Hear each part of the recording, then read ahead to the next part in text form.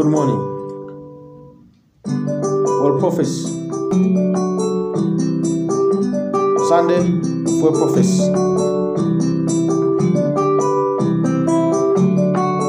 May 30, 2020.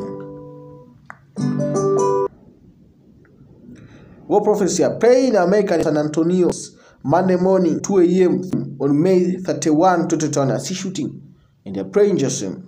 Bullet holes mark the scene of a shooting. Those bullets not only hitting a downtown nightclub, but also the leg of a teen who was riding on an electric scooter right outside. The night team's Japhanie Gray spoke with the victim's older brother who hopes this shooting encourages people to put an end to violence.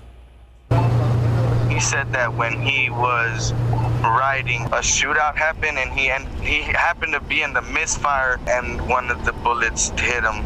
The older brother of a 16-year-old who was shot overnight says he's angry. The teen was shot in the calf while riding an e-scooter just before 2 this morning. The brother doesn't want to be identified in order to protect his little brother's identity. I've had a couple friends die when I was younger, so I know how I know how it feels. You know, I, but I mean, it, I, luckily it was in the leg and not in the chest, or in, you know, it could have been anywhere. San Antonio police say the teen was shot near the V Lounge near East Martin and Soledad Street. He and his uncle told police they heard a few pops before realizing the teen had been hit in the leg. The aftermath of that shooting can still be seen in the damaged windows of the nightclub.